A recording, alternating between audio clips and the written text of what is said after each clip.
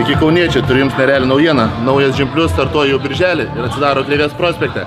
Taigi pasinaudokite pasiūlymą ir jungitės prie mūsų.